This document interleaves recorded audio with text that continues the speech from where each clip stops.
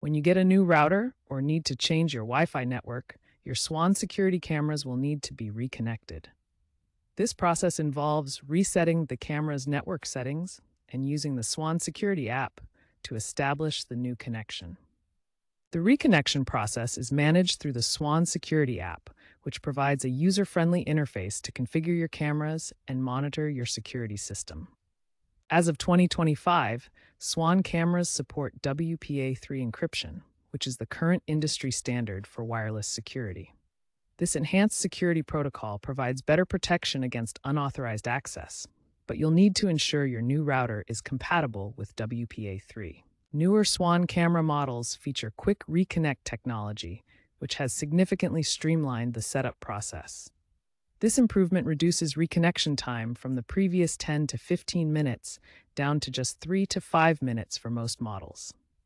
Swann offers three main types of security cameras each with slightly different reconnection requirements. Understanding your camera type helps ensure you follow the correct reconnection process. Each camera type may require slightly different steps during reconnection, but the core process remains consistent.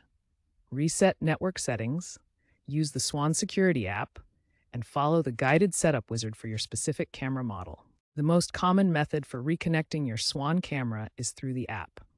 This process involves three main steps that we'll walk through together. First, you need to reset your camera's net network settings.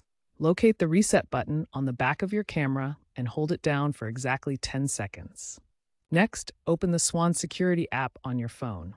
Make sure you have version 4.2 or later for the best experience. Navigate to your camera's device settings. In the app, select Change Network from your camera's settings menu.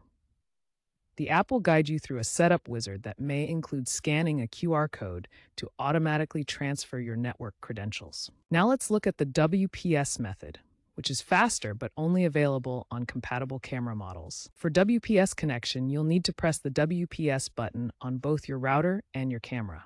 First, press and hold the WPS button on your router. Then, within two minutes, press the WPS button on your camera.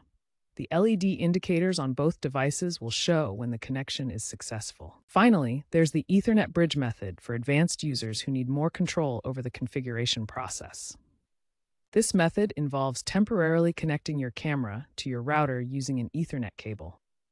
Once connected, you can access the camera's web interface to configure the Wi Fi settings directly. After completing any of these methods, verify the connection in your Swann Security app. Your camera should now be connected to your new network and ready to use.